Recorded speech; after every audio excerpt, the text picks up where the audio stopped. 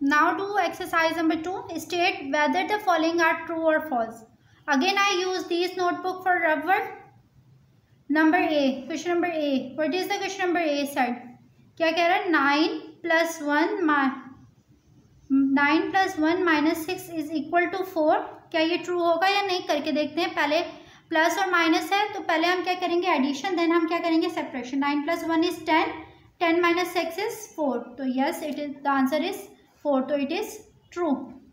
Number B वाला देखें sum. क्या कह रहा है?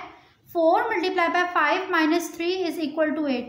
जब फोर में को फाइव से मल्टीप्लाई किया, उसमें से जब माइनस थ्री करेंगे, क्या एट के बराबर आएगा? फोर फाइव ज़ा करके देखते हैं, फोर फाइव ज़ा ट्वेंटी।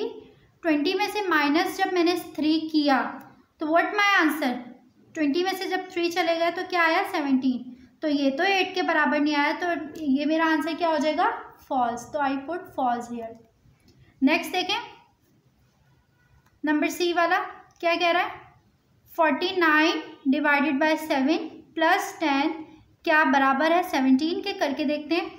सेवन के टेबल में फोर्टी नाइन कहाँ पर आता है? फोर्टी नाइन को जब मैं डिवाइड सेवन से कर रही हूँ। सेवन सेवन से फोर्टी नाइन उसमें प्लस टेन कीजिए तो इट्स आंसर इज़ सेवनटीन तो इट इज़ राइट तो I put true here okay next one is fifty four minus fifty four में माइनस करेंगे फोर को, मल्टीप्लाई करेंगे टेन, डिवाइडेड बाय करेंगे फाइव तो क्या वो फाइव?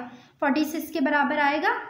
तो according to the DMAS rule according to the DMAS rule first we do the division then multiplication then we will do subtraction तो हम अगर डी मास रूल को फॉलो करें तो फाइव की टेबल में टेन कितने टाइम आता है? फाइव टू ज़ा टेन तो टू फाइव को टेन को जब फाइव से डिवाइड किया तो my answer is two now I do multiplication fifty four minus four two ज़ा एट आप फिफ्टी फोर में से एट को माइनस करके देख लीजिए।